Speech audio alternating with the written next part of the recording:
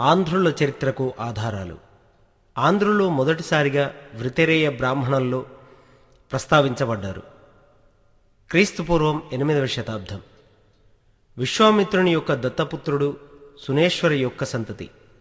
మహాభారతం ఆంధ్రులు కౌరవుల పక్షాన పోరాడినట్లుగా ప్రస్తావించింది. పాణిని అష్టాధ్యాయిలో ఆంధ్రులు దండకారణ్యానికి చెందిన ఒక తెగగా ప్రస్తావించాడు. బ్రహ్మాండ పురాణం ఆంధ్రుల చరిత్రలో తొలి పాలకుడు శ్రీకాకుళ ఆంధ్ర మహావిష్ణువు గురించి ప్రస్తావించింది. ఇతని దేవాలయం శ్రీకాకుళంలో నిర్మించబడి ఉంది. ఇతని కోరిక మేరకే కృష్ణదేవరాయలు ఆముక్తమాల్యద రచనలు శ్రీకాకుళంలో ప్రారంభించాడని తెలియజేశాడు. బౌద్ధ జాతక కథలు ఆంధ్రదేశాన్ని నాగదేశము మంజీర దేశము మరియు వజ్రభూమి అని ప్రస్తావించాయి. శ్రీమాలకల్ప అను జాతక కథ ఆంధ్ర మహావిష్ణువు సుచండుని యొక్క కొడుకుగా ప్రస్తావించింది. శరివన్ని జాతక ఆంధ్రులు తెల్లవాహనాది ప్రాంతానికి చెందినవారని ప్రస్తావించింది. ఆంధ్రుల గురించి ప్రస్తావించిన మొట్టమొదటి విదేశస్థుడు మెగస్తనీస్ క్రీస్తుపూర్వం నాలుగవ శతాబ్దం. ఇండికాలో ఆంధ్రుల రాజధాని అందకపురం అని ఆంధ్రులకు ముప్పై కోటలు ఉన్నాయని పదివేల సైన్యం రెండు వేల అశ్వదళం వెయ్యి గజబలం ఉన్నదని ఆంధ్రులు పోరాట యోధులని ప్రస్తావించాడు.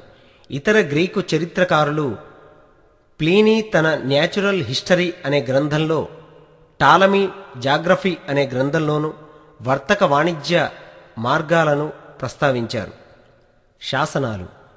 ఆంధ్రుల చరిత్రలో తొలి శాసనాలు అశోకని శాసనాలు.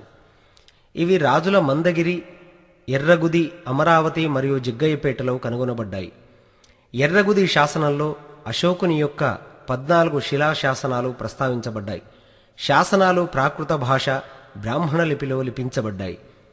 శాతవాహనుల చరిత్రను తెలుసుకోవడానికి మూడైన శాసనాలు నానాగఢ్ నాసిక్ కనిహేరి శాసనములు. భారవేలుడు వేయించిన హాతిగుంపా శాసనం మరియు గుంటుపల్లి శాసనములు. రుద్రదాముడు జనాఫడ్ గుర్నార్ శాసనాలు శాతవాహనులు శాసనములు కూడా ప్రాకృత భాషలో బ్రాహ్మణ లిపిలో లిపించబడ్డాయి. ఇక్ష్వాకుల చరిత్ర తెలుసుకోవడానికి నాగార్జున కొండ అమరావతి జగ్గయ్యపేట మరియు రాయరెల్లిపల్లి శాసనాలు తోడ్పడతాయి. ఆంధ్రదేశంలో మరియు భారత్లోనే తొలి సంస్కృత శాసనం ఇక్ష్వాక వంశానికి చెందిన యహువల శాంతభలుడు వేయించాడు. ఇక్ష్వాకుల అనంతరం వచ్చిన పల్లవులు గురించి శాసనాలు విస్తృతంగా లభ్యమైనాయి.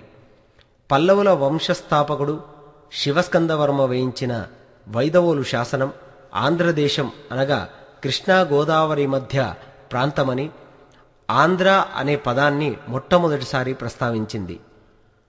బృహత్ వలాయనులు చరిత్ర తెలుసుకోవడానికి ఒకే ఒక ఆధారం కొండముది రాగిపత్ర శాసనం. ఈ శాసనాన్ని ఈ వంశస్థాపకుడు మహారాజు జయవర్మ వేయించాడు. తెలుగు భాషలో తొలగి శాసనాలు రేనాడు బోర్డులు వేయించారు. ఈ వంశానికి చెందిన ముదురాజు ధనంజయుడు వేయించిన కలిమెల్ల మరియు ఎర్రగుదిపాడు శాసనాలు తొలి తెలుగు శాసనాలు. ఈ వంశం వారు వేయించిన పొట్లదొర్తి మరియు మాలపాడు శాసనాలు కూడి తొలి తెలుగు శాసనాలు అవుతాయి. తూర్పు చాళుక్యులు తొలి తెలుగు పద్య శాసనాలు వేయించారు. ఈ వంశానికి చెందిన జయసింహుడు వేయించిన వివర్ల శాసనం వీరిసేనాని పాడు రంగడు వేయించిన శాసనం కూడా తెలుగు గద్యంలో లిఖించబడ్డాయి. కాకతీయులు చరిత్రను తెలుసుకోవడానికి ముఖ్యమైన శాసనం మైలమాంబ వేయించిన బయ్యారం చెరువు శాసనం.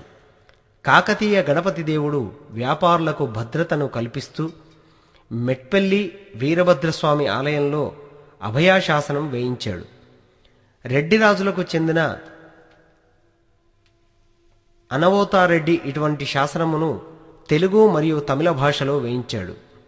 రుద్రమదేవి మరణాన్ని తెలియజేస్తూ చెందుపట్ల శాసనం వేయించబడ్డది. నాణెములు. వీటి పరిశీలన వల్ల శాతవాహనుల కాలం నాటి రాజకీయ ఆర్థిక వ్యవహారాలు బోధపడతాయి. వీరు ఎక్కువగా మిశ్రమ లోహం పోటీన్ మరియు సీసములలో తమ నాణ్యాలు ముద్రించారు. కశ్రుణ అనగా మిశ్రమ లోహంతో కూడిన నాణెం ఒకటి శాతకర్ణి మరియు గౌతమీపుత్ర శాతకర్ణి తమ నాణెములో ఉజ్జయిని జయించినట్లుగా ఉజ్జయిని పట్టణ గుర్తును ముద్రించారు.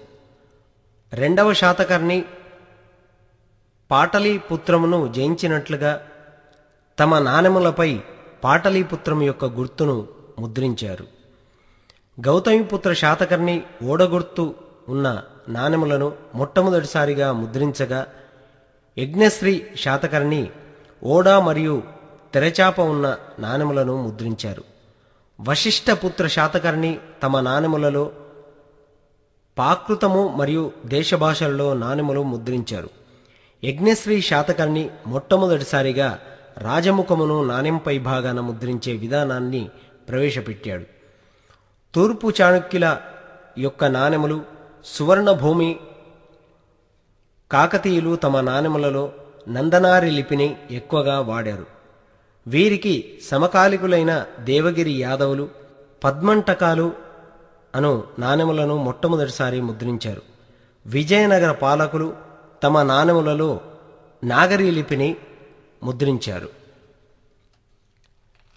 నాణెమునకు ఒకవైపు దేవుని చిత్రమును ముద్రించడం వీరితో ప్రారంభమైంది. కృష్ణదేవరాయలు నాణెములపై ఒకవైపు శ్రీరాముణ్ణి ముద్రించారు.